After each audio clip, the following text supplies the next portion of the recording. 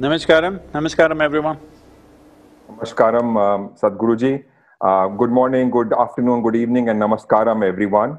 On behalf of TiE, TiE Global, um, I'm Havir Sharma, the current chairman of TiE Global. I welcome all of you, whether you are TiE members, non-members, um, across various channels, uh, not only just Zoom.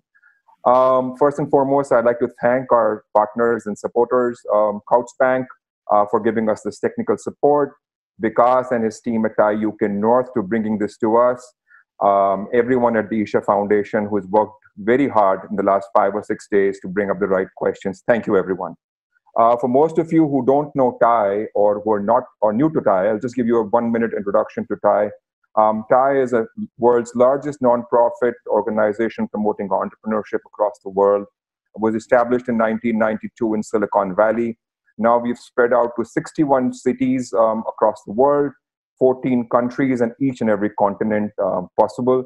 Um, we start, our main mission is to promote entrepreneurship. We catch them young. We start from a schools program, go into a colleges program, um, help young business people and we mentor them, guide them, support them, and handhold them in every way. Um, recently, we've started to invest at the bottom of the pyramid um, at the early stage and idea stage startup um, ecosystem, where we're investing as angels across US and India. And we really look forward to nurturing entrepreneurship, promoting more and more people successful across the world. I thank um, Sadhguruji for giving us the time. Uh, I really look forward to these 60 minutes of um, knowledge which is going to be focused on young entrepreneurs, um, senior entrepreneurs, businesses, and professionals. Um, over to you, Vikas, to start off the questions, please. Thank you. Namaskaram, everyone. Welcome. My name's Vikas Shah. I'm the president of TiE UK North. And today we're joined by thousands of entrepreneurs and leaders from all over the world, brought together by our mutual interest for our remarkable guest today, Sadhguru. I first met Sadhguru through Daniel Donachie, who's in the audience today. Danny asks to make sure that your football team allegiance is still where it should be, Sadhguruji. but, but today, we are not here to talk about sports. We're here at a time where the world is going through one of the most profound shared experiences that we've all had since the last great outbreak of conflict. So today, I'd like to start, Sadhguru, by asking, you know, we've had a devastating effect on the world from this virus. It's changed the balance of power and the relationships in societies. But it's not a human invader, it is a virus. How should we as individuals, as society, and as countries think about this situation that is happening to us? Mm. Well, uh, when you said it's not a human invader, but virus, you're making it like uh, being infected by a virus or this virus pandemic is worse than the World War II that you were referring to in some way. Well, we need to understand this. Uh, most people don't know what is a war. Like for example, in India, though we have seen four wars, and America probably in the post-World War I'm saying, America must have seen uh, about four to five wars. But uh, for India, the wars are fought on the border. Our soldiers have fought on the border, sacrificed their lives. But for the Americans, the wars are fought somewhere else. But to, uh, just yesterday, we are uh, commemorating the end of uh, World War II. You ask the Londoners what war meant at that time, because every home was destroyed, and around you there's a whole lot of destruction, that is not a joke. So virus is not as big as a war, though we have to handle it in a war footing.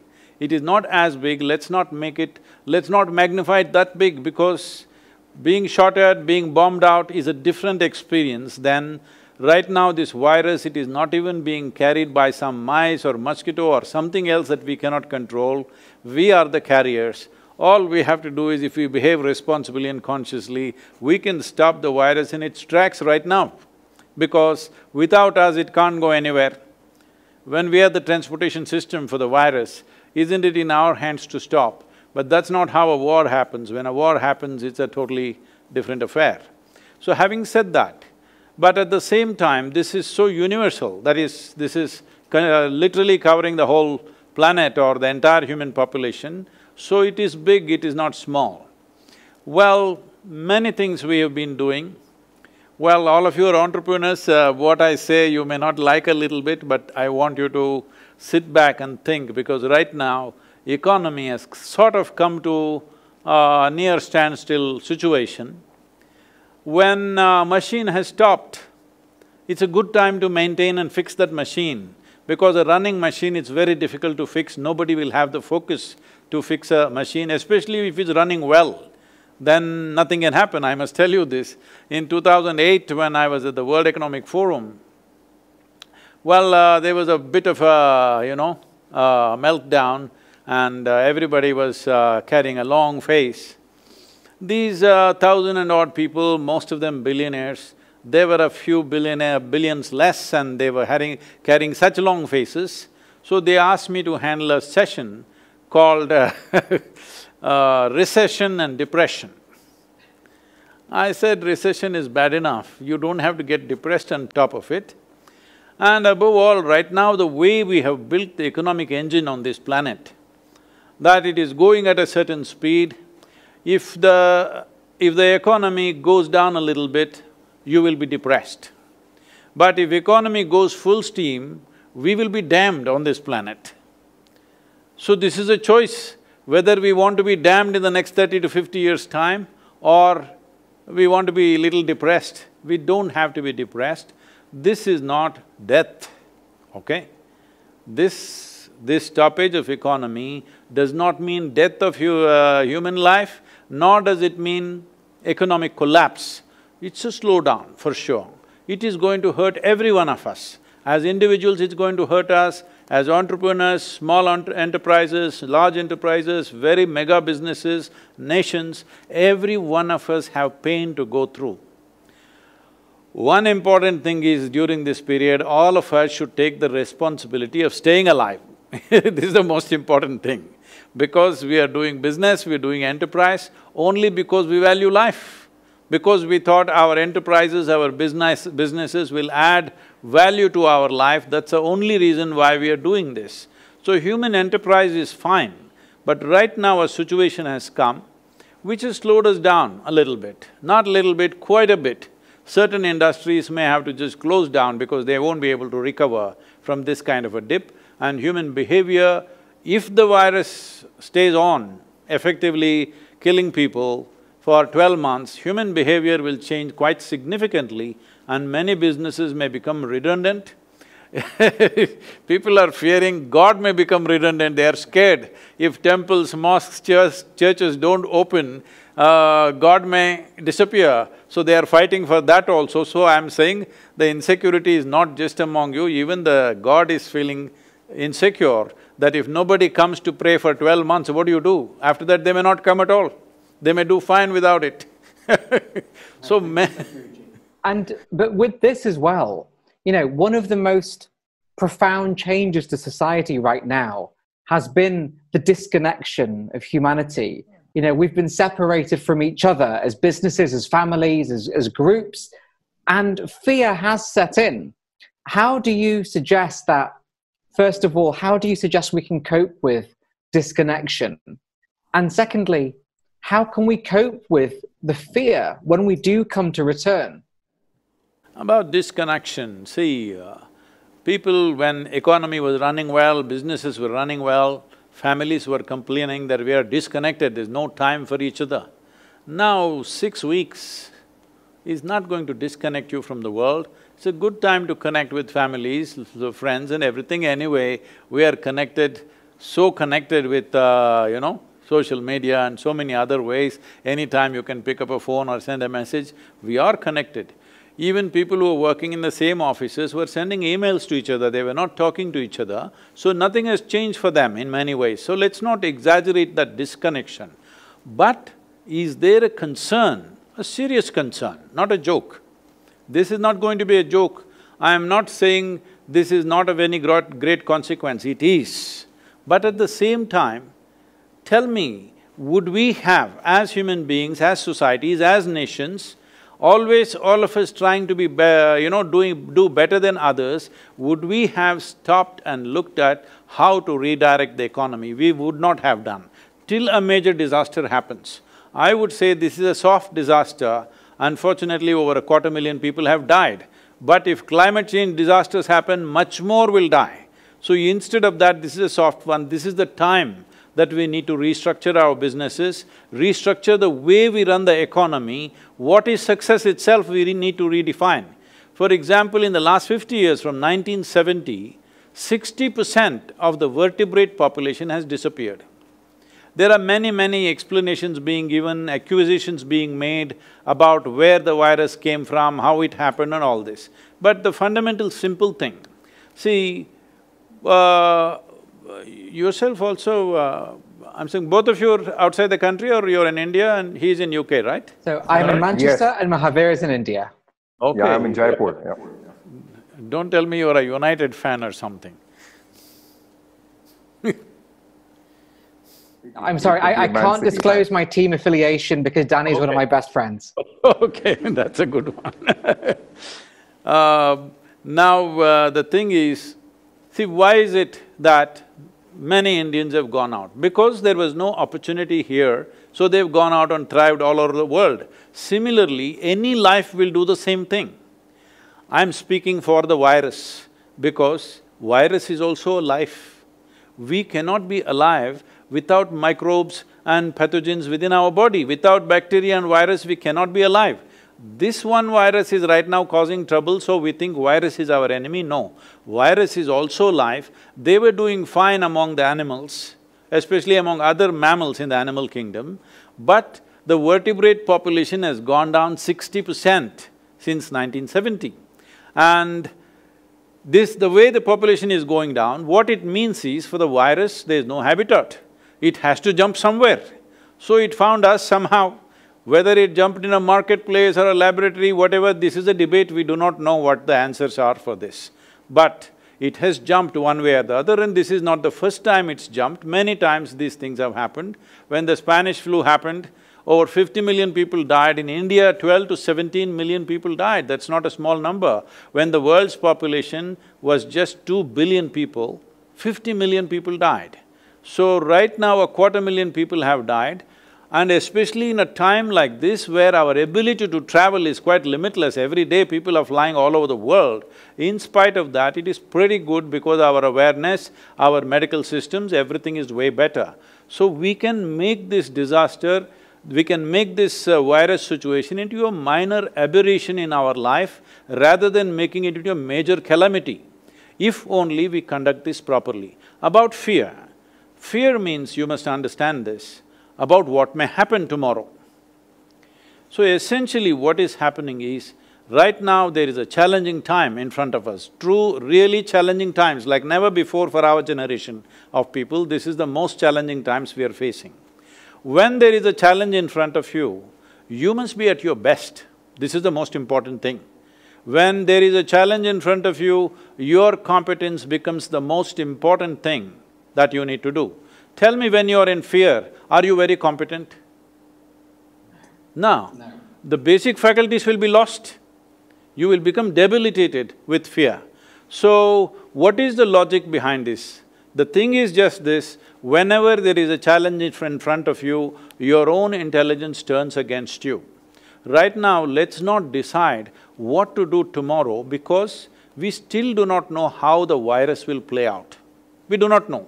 Everybody is making their own guesses, but nobody… I'm listening to all the scientific stuff that's going on in the world, what doctors are saying, politicians are saying, economists are saying, but the clear picture is this, we really do not know how things will be in another two months' time, nobody knows for sure how it's going to play out. People are saying it's already mutated into ten different forms, whether it'll respond to the vaccine, how many ten vaccines for 7.6 billion people, when will you give that vaccine? This is not practical things, anything that's being spoken. So we have to wait. When we wait, the best thing to do is right now to upgrade ourselves. Upgrading ourselves means our physiological capabilities, physically we must become fitter. In the next one month, all of you TiE people set this up, the next one month, you must be at least ten percent fitter than what you are right now physically. Mentally, you must be ten percent sharper, I can give you tools for this. And emotionally, you must be at least ten percent more balanced. Energetically, you must be at least ten percent more effervescent. All these things will be most vital when you have to step out and face that new situation that we have still not figured. Let us not assume this will happen, that will happen, because we don't know what will happen. How many of us will be wiped out? How many of us will be here? How many businesses will be gone? How… what will be relevant, what will be not relevant? We have no clear picture, only guesswork is going on. So using our imagination, we are causing fear. Instead of that, this time around, let's invest it upon ourselves to make ourselves into more competent, more balanced and better human beings. That's the only way you can face an unknown situation.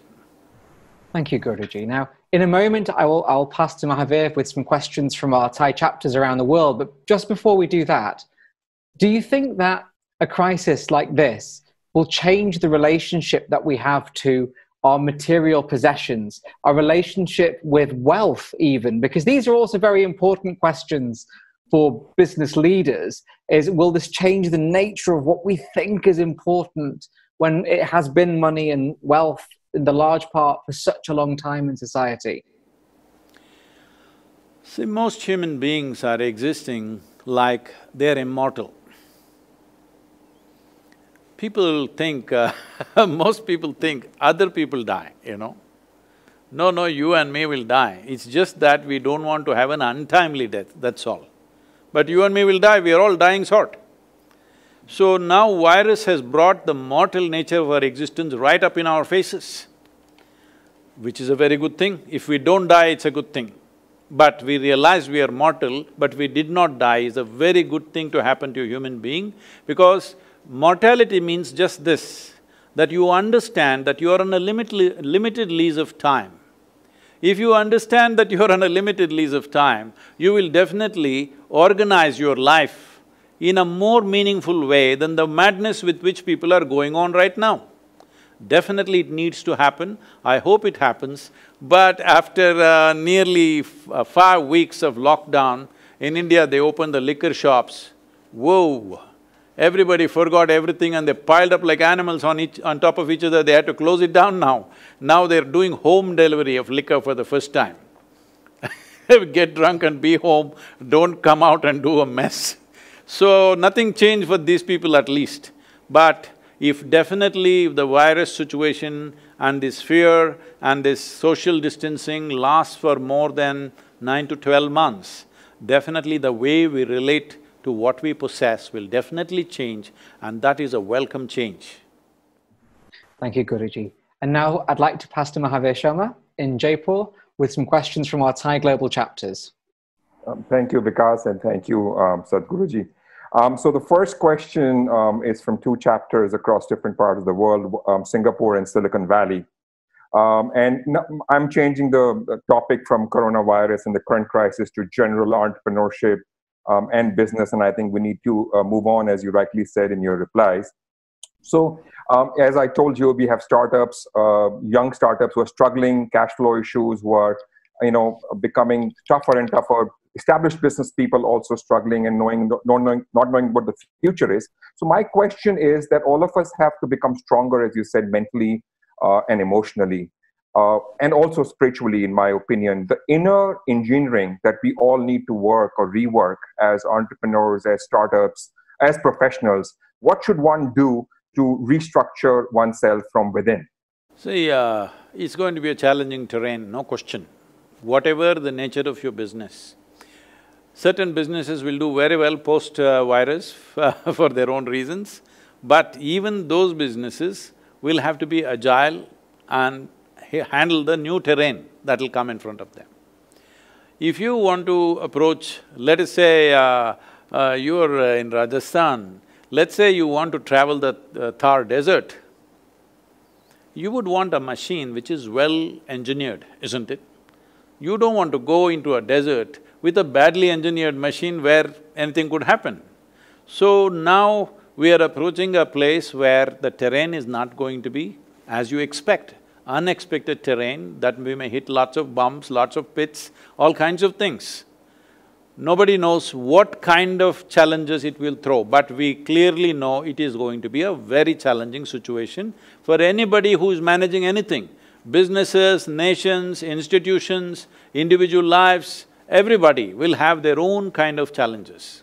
So when this happens, the most important thing is that you're well engineered. What does engineering mean? See, we say something is well engineered because it functions the way we want it, isn't it?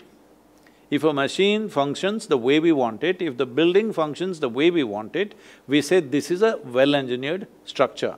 So similarly, in your life, your body, your mind, your emotion, your energy should work for you. Just now, uh, he was mentioning about fear.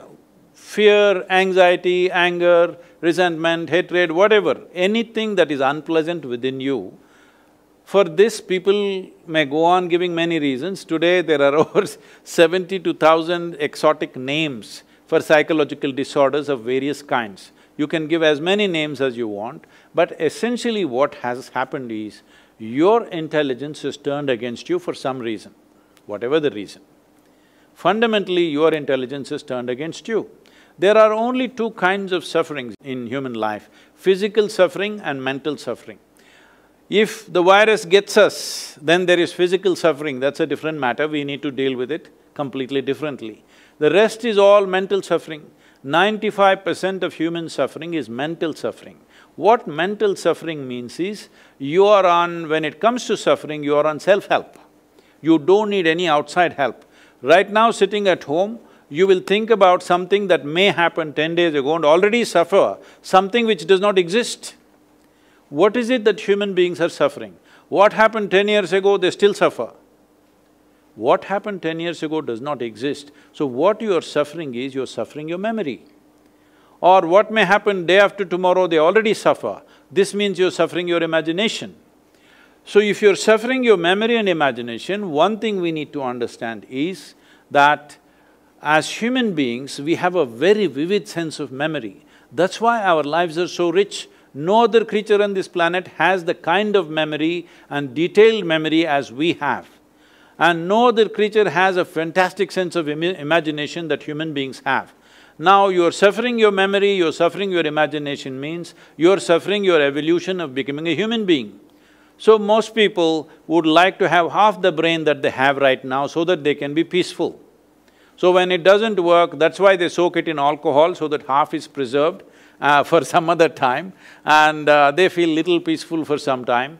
Well, uh, you know, when it goes completely out of control, the doctors even… even going to the extreme stage of doing what is called as lobotomy, that a part of the brain is removed. If a part of your brain is removed, no fear, no anxiety, no some… nothing peaceful, but no possibilities either. So I'm saying, what is a possibility, you are making it into a huge problem simply because you're not well engineered. What does being well engineered mean when it comes to a human being? You heard of… Uh, you're in uh, UK, so you definitely heard of uh, Charles Darwin, right? Nobody did not hear about him He didn't come from Manchester, I think. No, he, he wasn't perfect, so I get you You must be from the city, Manchester city, that's why you're talking about perfection So, uh, Charles Darwin went about, I'm making it simplistic, but he was saying something like this, a goat could have become a giraffe over a million year period. A pig could have become an elephant over many more million years. But a monkey became human rather too quickly so quickly that anthropologists are continuously looking for a missing link which they have not found yet. So what it means is, in terms of DNA difference, if you look at it, between a chimpanzee and yourself, the DNA difference is only 1.23 percent. 1.23 percent is not much of a difference. So physiologically, we are very, very close to a chimpanzee. But in terms of our intelligence and our competence and our awareness, we are worlds apart from a chimpanzee. So right now, human problem is just this, they have an intelligence for which they don't have a stable enough base, so they are suffering their own intelligence. You can call it tension, fear, anxiety, madness, misery, whatever you want to call it, essentially human beings are suffering their own… their own intelligence. Intelligence is a solution. Intelligence is not a problem. Unfortunately, most people are experiencing this as a problem. This is why inner engineering becomes very, very significant. If you're an entrepreneur, you must understand you're into a venture. Your inner venture means it is just one step short of an adventure, okay? You're seeking… you're seeking challenges. If you did not want challenges, Rajasthan government would have been a fine place Uh, you know to work. But you become an entrepreneur because you're consciously seeking a challenge. This means you're into a venture which is not an adventure but just one step short of that. That means you should not suffer unexpected situations. Unexpected situations, undefined situations means for an entrepreneur, there are a million possibilities in that. He has to look at it. Thank you, thank you so much. Um, going on with my next question, and nothing to do with the current situation, and this is from Anjali in New York, uh, Ram from TiE UK North, and a team in um, Um, you know, what causes, and this is a very generic question, um, of feelings in, of unpleasantness, disconnect, dissatisfaction, unhappiness within oneself in life. And these things invade yourselves and actually um, you underdeliver or under you know work. And that creates a challenge for everyone and one has to compromise on whatever business or job that one is doing. Or sometimes even people become procrastinated because they're comparing themselves from other people. So this emotional and many a time people don't even know that they have these inner um, challenges because or satisfaction dissatisfactions. How does one control or deal with inner emotions and become stronger emotionally? You said underperform uh, what I say… what I say right now, this is not to insult anybody, but I'm saying over ninety-five percent of the human beings on the planet are underperform all the time. They may be comparing themselves to somebody else and doing little better than them and they think they're okay. It is not a way to look at life. The important thing is, am I at my fullest possibility? Whether I am better than somebody or worse than somebody, this is not the issue. Unfortunately, that's become the issue, but that's not how it should be. Whether I'm able to find full expression to all that I have in me. If you go by that context, over ninety-five percent of the population is seriously underperforming. if anybody comes to me here, those people who came here thinking, uh, you know, spirituality means they can close their eyes and do, you know, whatever that kind of stuff, I'm all making them do five people's work. Each one must do five people's work, otherwise I'm not satisfied and seven days of the week, 365 days, we are on, on and on. Why I'm saying this is because this is most important in a human uh, perspective that everything that you have should find expression. If it doesn't find expression, it'll become knots within you which will bother you, you won't even know why. Simply for no reason, simply you feel, you know, unfulfilled, uh, kind of like there is a bad weather within you, no matter what is happening. So you can call it by many names, as I already said, there are many ways of looking at it. One simple way of looking at it is, see, human experience has a chemical basis to it. What you call as joy is one kind of chemistry, what you call as misery, another kind of chemistry, peace is another kind of chemistry, love is another kind of chemistry, agony is one kind of chemistry, ecstasy is another kind of chemistry. So right now, we can look at it in this simple way. If you create the right kind of chemistry within yourself, you will be blissful every moment of your life.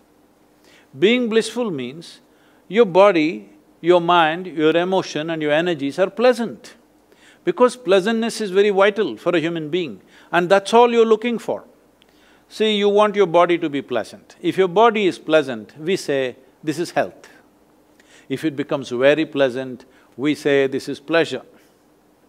If your mind becomes pleasant, we say, this is peace. If it becomes very pleasant, we say, this is joy. If your emotions become pleasant, we say, this is love.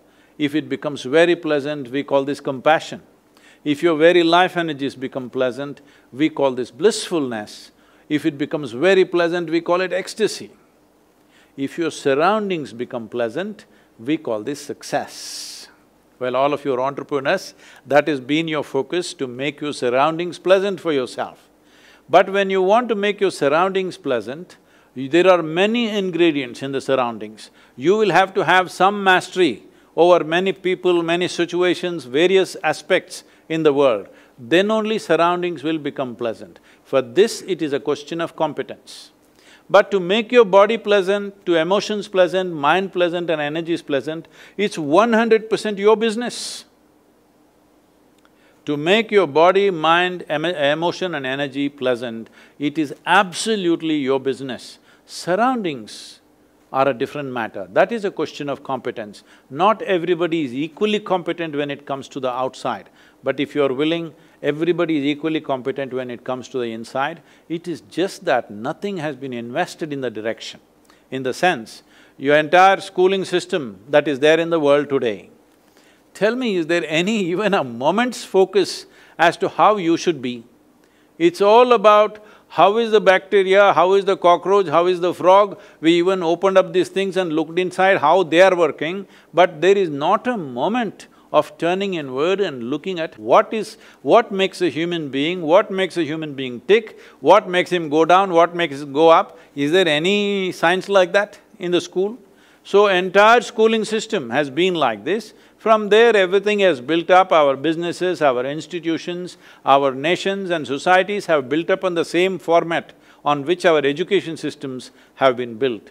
So based on this, we have not invested anything, so there are no results.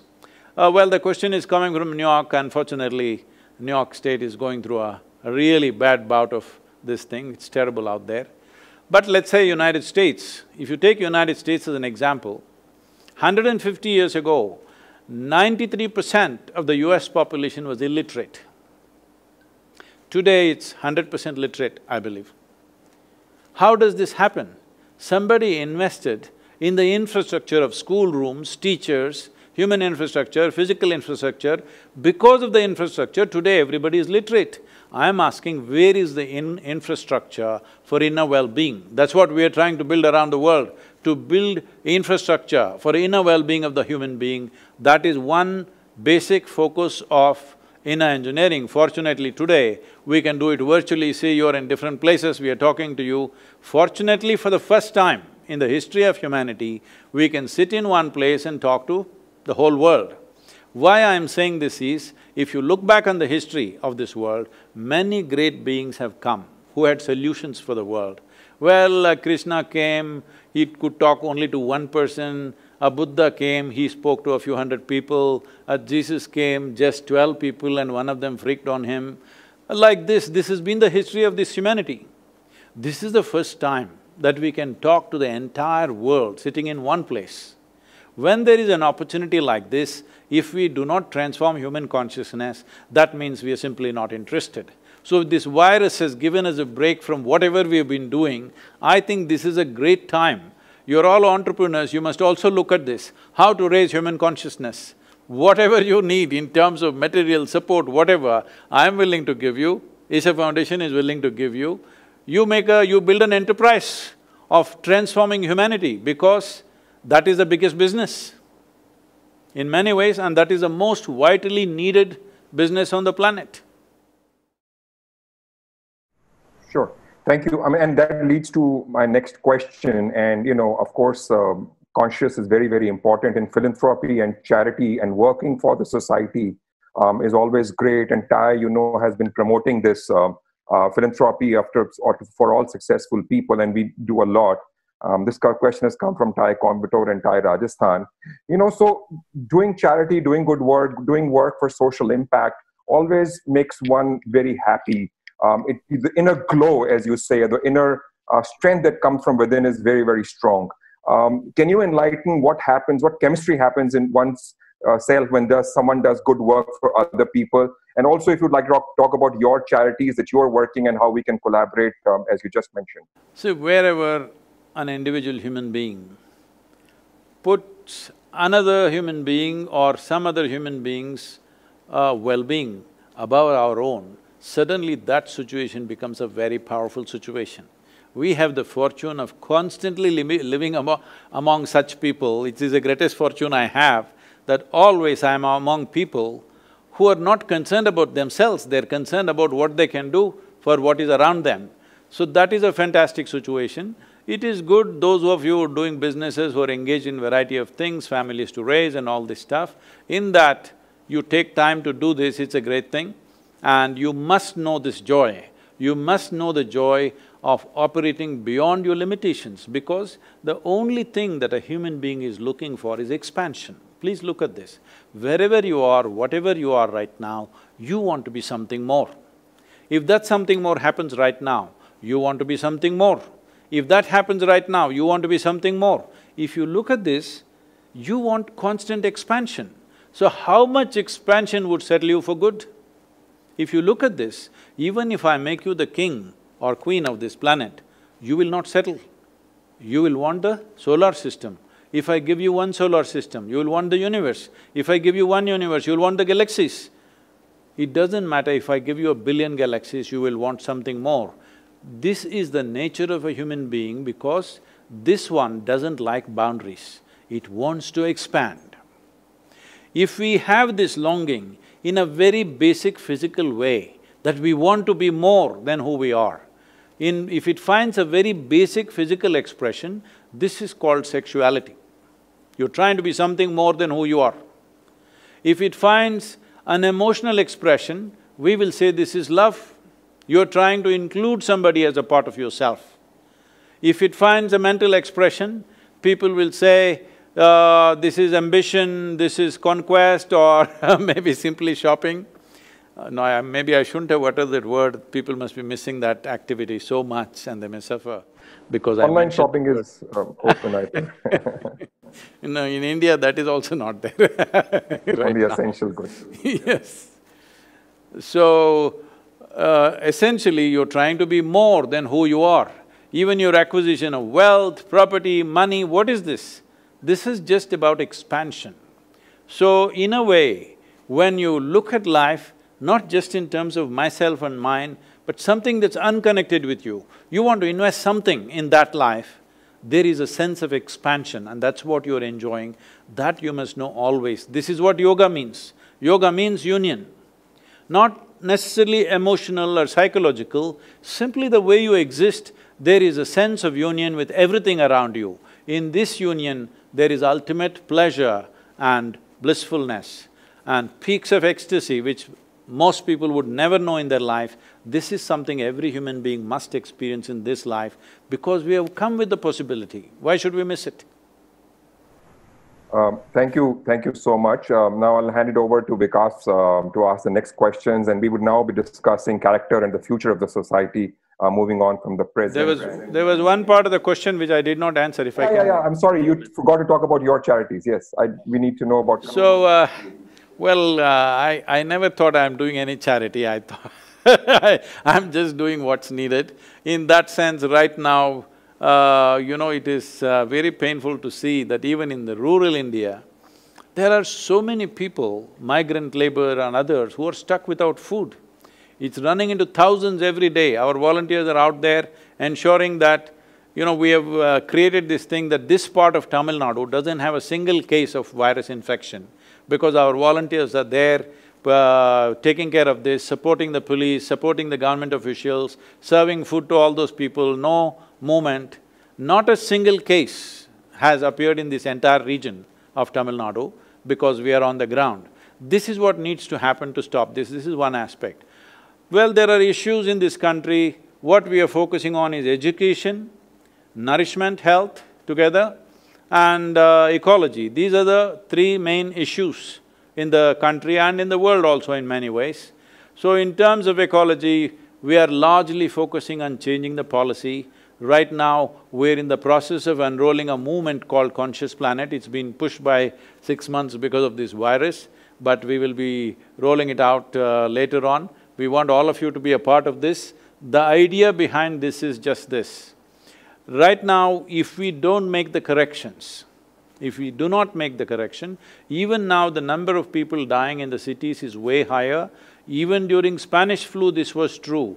Wherever the particulate matter was beyond 2.5, uh, you know, uh, micrometers or whatever, there, always the deaths were higher even during the uh, Spanish flu and the same is happening now. So the number of people who die just because of pollution causes is very, very high and those people are also susceptible to these kind of things.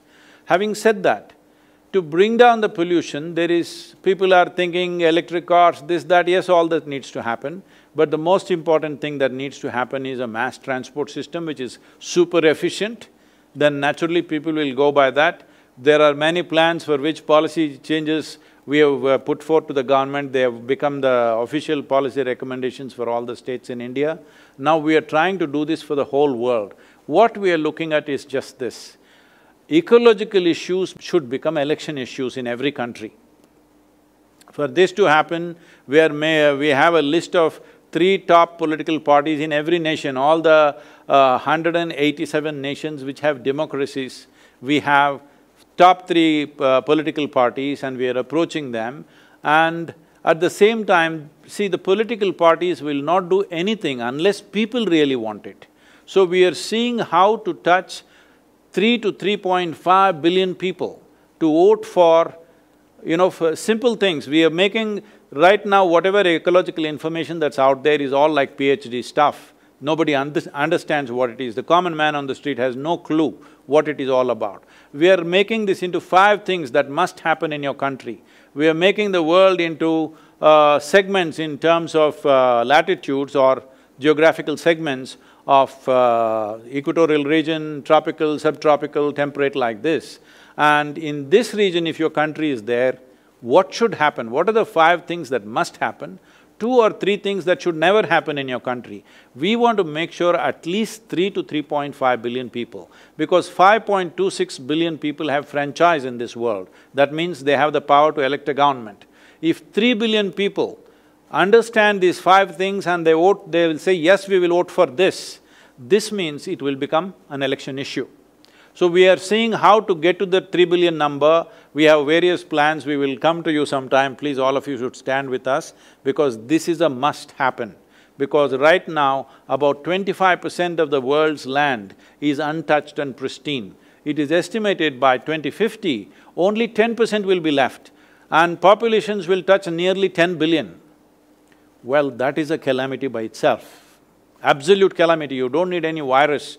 If we become ten billion people and uh, forests have reduced, no enough uh, forest cover and green cover in the world, this will be a disaster. But right now we have a phenomenal chance to change a few things. See, of the fifty-one million square kilometers of land which is being used for agriculture in this world, forty million, forty million square kilometers of land is used only to raise animals and their food because of meat consumption. If meat consumption is brought down by fifty percent, people don't have to give it up. If they bring it down by fifty percent, twenty million uh, kilo… square kilometers of land will become available. Twenty million square kilometers means you can… Uh, you can plant 1.2 trillion trees. 1.2 trillion trees means everything, all the carbon that you have thrown out into the atmosphere, in fifteen to twenty years' time it'll fully absorb. That's what it means. This can be done and it can be a huge business by itself. Timber can be a huge business by itself, we can crop the timber, but in a… in a calculated way, this can be done, this can be a major business. As meat industry goes down, this can be done, this is a big enterprise by itself, you must look at that. Above all, all of you should stand with us for uh, Conscious Planet. Thank you so much. And we will help you uh, reaching out to masses across the globe and educating people about uh, what you said. We'll share a document uh, with your team. Uh, over to you, Vikas, to take it forward, please. Thank you. Um, Guruji, you know, over the last four or five years in particular, we've seen so much disharmony, disunity, and fractures emerge in our society, whether we look at you know, referendum or elections or whatever it might be. And we do, as you said, need to come together as a society for many important causes such as the environment. But why are we still turning to those base instincts such as hate and isolation? And how can we build a society which is more unified regardless of religion or opinion or background because that is so important for us.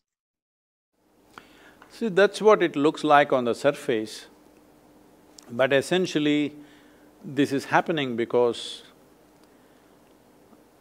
economics has become the most significant aspect of human life right now. Once economics becomes the most significant aspect, what have you got, what do I have? This is the whole calculation all the time. So, when it's all based on this, naturally people will polarize themselves because they know there is strength in unity and brotherhood of their own. So, it may look like religion on the surface, it may look like uh, so many other things, but if you look at it, the underlying force is economic concerns. Now, your Brexit you're talking about is an economic concern, it's not a racial thing or uh, even a national thing, it is more an economic concern. So, economy or economic well-being has become the only concern. There are no other concerns in human life. Right now, even in London, I see do, people don't even discuss weather anymore. They only talk about the stock prices and what is happening, what is happening here. Even if you sit around, I'm saying, uh, I was somewhere where about four, uh, you know, senior ladies were sitting and I sat with them for a small tea or something. Even they're talking about stock prices. I said, don't you discuss weather or local gossip anymore? No, all that is gone. The only gossip is economic gossip. When this happens to any society, naturally we will, you know, we will make groups of our own because that gives us power. If we are left alone by ourselves, we may be smothered by the economic forces. So, we need to change this in many ways if I… If I say this, it looks like I'm rubbing, you know, insult to injury. Right now, the economy has slowed down. This is a time for all of us to rethink many things about our lives how we are living. Is this the way we as human beings should exist on this planet? Is it really… the way we are existing is quite unbecoming of being human. Uh, we are as violent or worse than any other animal creature. An animal functions out of its instinct. Instinct essentially means a crystallized amount of memory within itself in its evolutionary scale and from that memory it operates. The significance of being human is whatever our instincts are, whatever our genetic background and evolutionary background is, this moment you and me can function, we have a discerning mind that we can function consciously no matter what our history says, what our genetics say, what our evolution says, whatever it is, the background, still we can stand above that and act, act consciously because we are the only ones who have a discerning mind which can act beyond our own instincts. If we do not exercise this, we are not really full-fledged human beings, that's what it means. Wow, and um, in a moment I'll hand over to Mahavir as well to give an official vote of thanks for today. But one final question, if I may, Guruji, which is, you know, right now we're all introspecting, we're all you know on our own or you know in small groups. And it's causing us to almost focus on some of the negatives that we are seeing in society. But how can we make sure that we look outwards how can we make sure that we see beauty and positivity even in a time of great crisis and uncertainty uh, the negativity is coming from i think uh, uh, all of you are trying to practice astrology you're planning to probably start an astrology company, so you're trying to make predictions about which you have no clue. Don't make predictions right now. Just carefully watch what's happening in the world, every little bit that's happening, because you're an entrepreneur, there could be a thousand opportunities in many, many things that are happening. This may make you look… make me look like, oh, what is he talking when there's a human disaster, you're talking about enterprise. Well, enterprise matters because the success of a nation no more depends on its military might or even on its political circus that it does, essentially it depends on the success of its businesses. So it is very important that business people don't become astrologers and start making predictions and gloom and doom stuff. No, you just wait, it's okay. When… when we step out onto the street, let's see what to do. We must watch carefully. But the most important, as I already said, is This is a time that you will never get again probably in your life. Till now, since you started your enterprise, I'm sure nobody gave you an eight-week break, isn't it? Simply impossible even to think. Yes. Even I'm I'm here at the yoga center continuously for two months, which I have not done in forty years. so I'm thoroughly enjoying my stay here and doing the best we can do. We have to completely reinvent ourselves to function in the new world because uh, our programs are always 10,000, 15,000, 25,000 people. That's not going to happen in the next twelve to twenty-four months probably. Wow. No, thank you Yes. so much. And uh, if if I may, Guruji, I'll, I'll at that point I'll hand back to our global chair, Mahavir Sharma. Um, but thank you so much for joining us today. You must do Inner Engineering.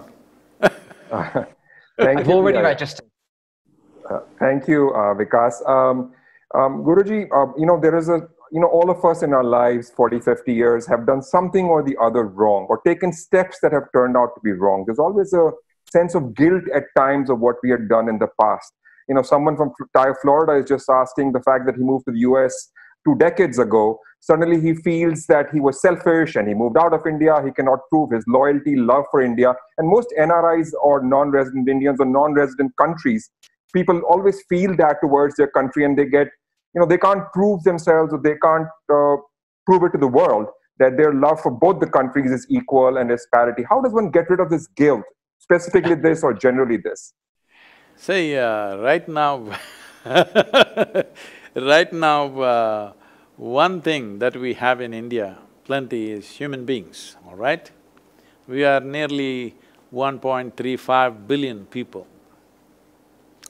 For these 1.35 billion people, we don't have the economy, uh, the size of economy that would properly serve these human beings. Right now, we are striving to build that. Economy we will build, we are confident about that. But we don't have enough land for 1.4 billion people to live well. We don't have enough water for 1.4 billion to live well. We don't even have a piece of sky for 1.4 billion people to live well. So, our thing is to produce very competent, focused, inspired and balanced human beings and export them to the rest of the world. If half a billion people if we export, the whole world is ours, what is the problem? Geographical boundaries should not be so restrictive, all right? Nation is just an idea. Nation is just an idea in our mind. We have love for things that we have gone through in our childhood and where, where we have seen and grown up. That is perfectly fine and that's wonderful because a human being is as complex and as capable and as sophisticated simply because, as I said, vivid sense of memory we have. We must celebrate that memory, we must remember that memory. Well, those people who are feeling that way, they many of them have come from small villages and now they're doing very well in United States or wherever else. Well, they can take up one one village and take care of it. You tell me if you want to take care of any village in southern India, we will take care of it for you if you contribute. We will see all the children in that place are educated and many more people like you are produced and I am not… I am not talking about brain drain, this drain, we have enough brains and enough bodies, we can send them around the world.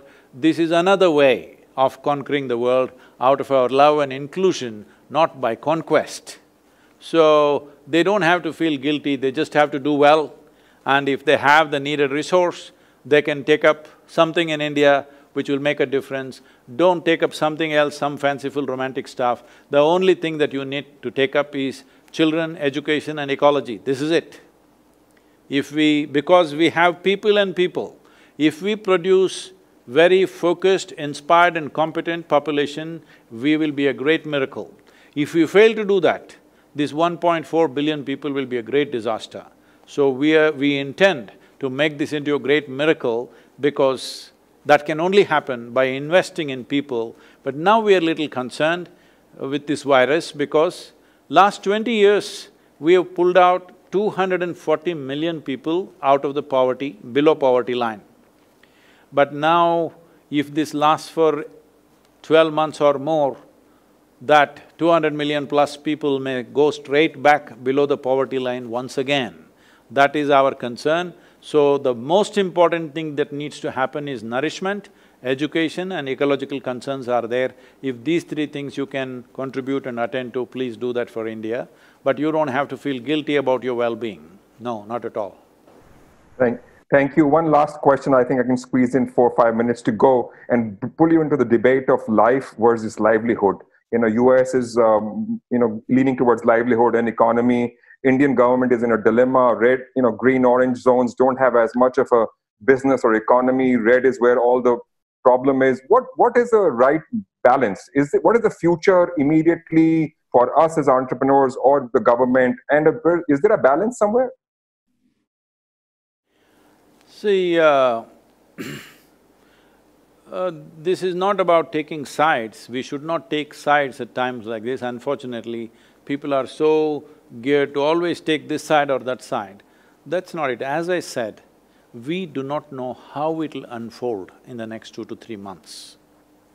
When the Spanish flu happened, in the first wave, immediately after World War I, when the first wave happened, started in the month of January, it killed about six million or seven million people. People thought it's over. But it came back in August, September and killed over thirty-five million people straight away.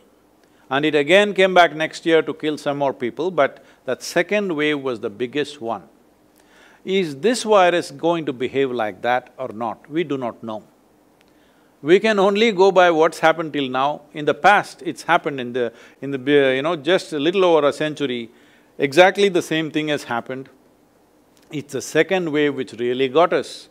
Even now, some of the doctors and scientists are saying the second wave in US will happen in October, November, December and that's going to be really big.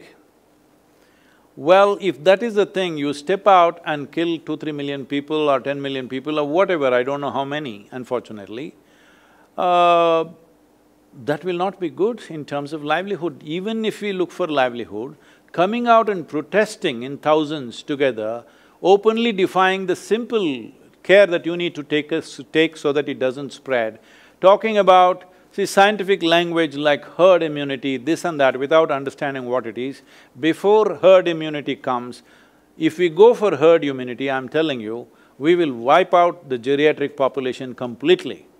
We will wipe out all those people who've gone through organ transplants, cardiac patients, diabetics, all vulnerable population, largely we will remove them.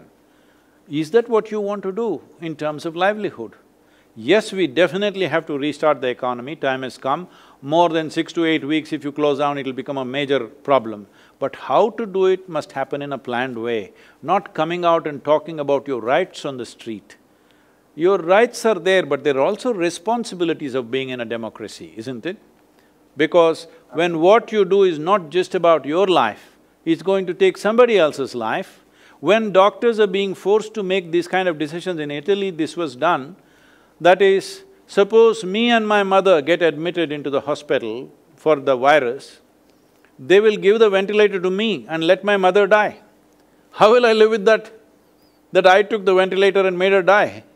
Or if me and my daughter get admitted for the same problem, they'll give it to my daughter, I will die. When people are being forced to make these kind of decisions, you're talking about your rights, you want a haircut. Come on. Just fifty years ago, you didn't want to have a haircut, all right? Now you're saying you can't live without a haircut, barber shops you want, that is the most important thing, alcohol you want. Please, uh, this is a time where little more responsible and conscious action should come forth from human beings. Should economy restart? One hundred percent, there's no question about that. But how? It must happen in a systematic, disciplined way, not in a wild way. Well, thank you, thank you so much for such great, insightful answers to our questions um, raised from across the world. On behalf of TiE, um, all its member and the entire fraternity, I would like to thank you and Isha Foundation uh, for bringing this up to us. We will collaborate and work with you closely um, in uh, social impact and environmental issues um, soon. And thank you, Couchspank, once again. Thank you, Vikas. Thank you, Peter, for doing a fantabulous job. Thank you, everyone. Namaskar. Thank you very much, all of you. Thank you.